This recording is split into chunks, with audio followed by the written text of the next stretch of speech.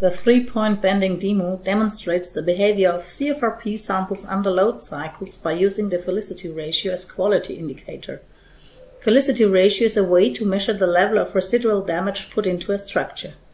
If the Felicity ratio is higher than 0.8, the structure is not significantly damaged. If the Felicity ratio is below 0.8, permanent damage occurred.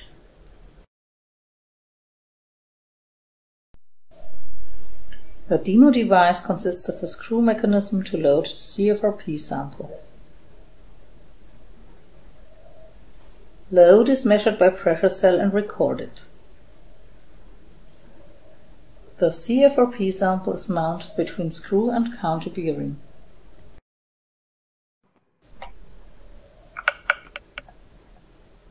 The sensor is glued with hot glue to the CFRP sample.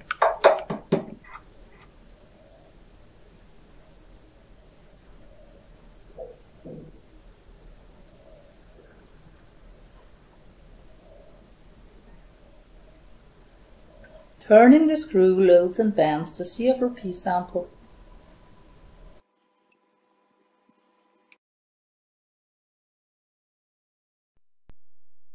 To illustrate the measured results, the software setup shows three different pictures.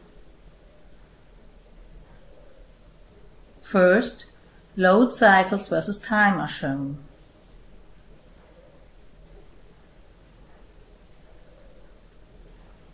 Load is drawn as red line. Second, peak amplitudes versus time are shown. Third, Felicity ratio related to the maximum force of each load cycle is shown. Light or dark green indicates if the structure is damaged or not.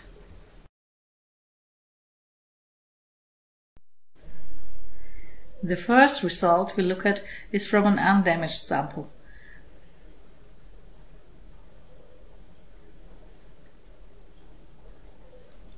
The measured Felicity ratio is above 0.8.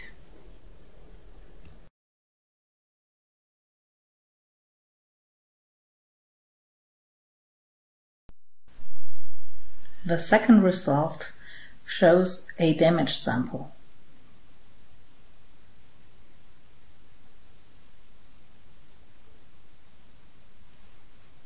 The measured Felicity ratio is below 0.8.